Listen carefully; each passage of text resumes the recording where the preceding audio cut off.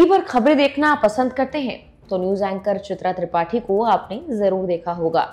चित्रा त्रिपाठी की अग्रिम जमानत याचिका खारिज कर दी गई है। इसके अलावा जाने माने एंकर सैयद सुहेल भी मुश्किल में हैं। दोनों के खिलाफ गैर जमानती वारंट जारी किया गया है। मामला 2013 का है, लेकिन किस क्राइम या किस केस से जुड़ा हुआ है, वो जानने के लिए वीडियो में आखिर तक बने रहें।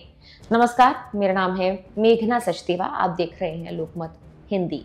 2013 के पॉक्सो मामले के बारे में बताने से पहले आप ये जान लीजिए कि गुरुग्राम की एक विशेष अदालत ने TV news anchor Chitra Tripathi और पत्रकार सैयद सुहेल के खिलाफ गिरफ्तारी वारंट जारी किया।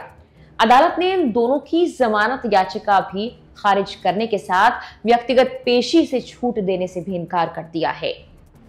जबकि रिपोर्ट्स के मुताबिक इस पूरे मामले में कुल आठ पत्रकारों के नाम शामिल हैं। अजीत अंजुम, दीपक चौरसिया, सुनील दत्त, राशिद हाशमी, रिपोर्टर ललित सिंह और प्रोड्यूसर अभिनव, इनका भी नाम शामिल है। कोर्ट ने इन सब पर आपराधिक जालसाजी और पॉक्सो एक्ट के तहत आरोप तय किए हैं। मामले में अगली सुनवाई 30 नवंबर को होगी। इस मामले को लेकर त्रिपाठी के वकील ने कोर्ट से क्या कुछ कहा, वो बताने से पहले 2013 वाले मामले पर एक बार गौर कर लेते हैं ताकि आपको ये समझ में आ जाए दोनों की मुश्किलें क्यों बढ़ रही हैं। दरअसल त्रिपाठी पर एक 10 वर्षीय लड़की और उसके परिवार के मॉफ्ड संपादित और अश्लील वीडियोस प्रसारित करने और इसे स्वयंभू धर्मगुरु आसाराम बापू के खिलाफ यौन उत्पीड़न के मामले से जोड़ने का आरोप है। उन पर धारा 120 बी, चार सौ उनहत्तर और चार सौ इकहत्तर, आईपीसी धारा सड़सठ बी और सड़सठ आईटी एक्ट के तहत आरोप लगाए गए। और पॉक्सो एक्ट की धारा 23 और धारा तेरह सी। लाइव लॉ की एक रिपोर्ट ये कहती है कि सभी आठ व्यक्तियों पर एक आपराधिक साजिश रचने का आरोप लगाया गया है, जिसके तहत उन्होंने लगभग 10 वर्ष की नाबालिग लड़की और उसके परिवार का जाली वीडियो तैयार किया, सहमति ज़ाहिर की, जिसमें पीड़िता और उसके परिवार को अभद्र तरीके से दिखाया गया।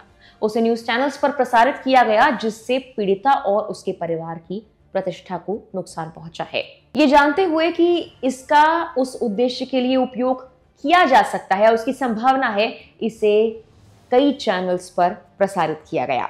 और जाली संपादित वीडियो क्लिप और समाचार चैनल्स पर प्रसारित किए गए वीडियोस लड़की को अभद्र और अश्लील तरीके से प्रस्तुत कर रहे थे। वही गिरफ्तारी वारंट तब जारी किए गए जब कोर्ट ने उनकी जमानत रद्द कर दी और कोर्ट के सामने व्यक्तिगत रूप से पेश होने के लिए, छूट के लिए जो उनका आवेदन था, उसे भी खारिज कर दिया। त्रिपाठी ने छूट इसीलिए मांगी क्योंकि वो महाराष्ट्र चुनाव को कवर करने और राज्य के उप मुख्यमंत्री का इंटरव्यू करने के लिए महाराष्ट्र के नासिक जा रही थी। हालाँकि कोर्ट ने उनकी याचिका खारिज कर दी है। ये देखते हुए वो कोर्ट की प्रक्रिया को की काफ़ी हल्के में ले रही हैं। अब अपनी अग्रिम जमानत याचिका में त्रिपाठी के वकील ने छूट आवेदन में प्रस्तुत किए गए आधारों के समान आधार उठाए। उनके वकील ने तर्क दिया कि वो कोर्ट के सामने पेश नहीं हो सकती क्योंकि त्रिपाठी एबीपी न्यूज़ चैनल की उपाध्यक्ष हैं और इंटरव्यू लेने के लिए महाराष्ट्र गई थी। इसीलिए उनके वकील ने अनुरोध किया कि उन्हें अग्रिम जमानत दी जाए।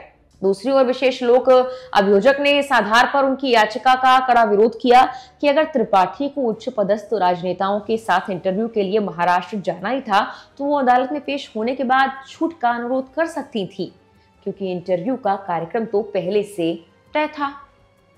यह भी तर्क दिया गया कि त्रिपाठी ने अदालत की प्रक्रिया की अवहेलना की, इसीलिए वो अपने आवेदन में मांगी गई राहत की हकदार नहीं है। फ़िलहाल के लिए इस वीडियो में इतना ही।